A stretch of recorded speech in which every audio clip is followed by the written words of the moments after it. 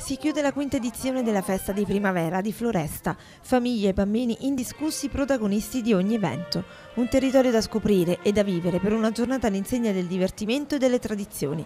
Tra storia e cultura i visitatori hanno potuto apprezzare le interessanti mostre di insetti e di verdure spontanee.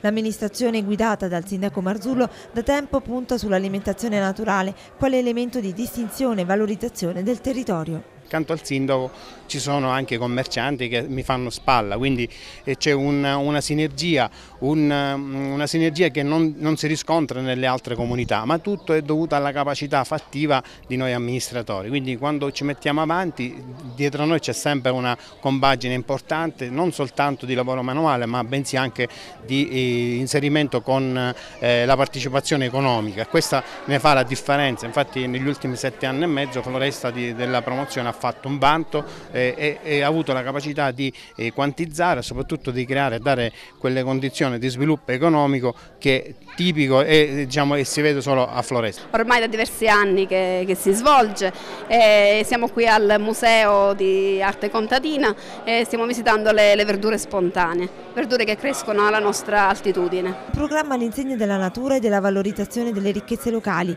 iniziative, mostre, visite guidate per scoprire gli angoli più affascinanti importanti del territorio, ma anche concerti di violini e degustazione di prodotti tipici, tra cui quelli dell'orto comunale Deco. Favoloso, mai visto. È una bella esperienza, bella, abbiamo visto cose che non avevamo mai visto. La cosa simpatica è avere un sindaco che ci fa da cicerone, è una cosa molto bella. Complimenti a questa amministrazione. Noi veniamo da Favara, siamo a 5 km da Agrigento, ma porteremo con noi un ricordo bello, eccezionale di questo affetto, di questo calore per l'accoglienza e anche per, per i siti che ci stanno facendo scoprire.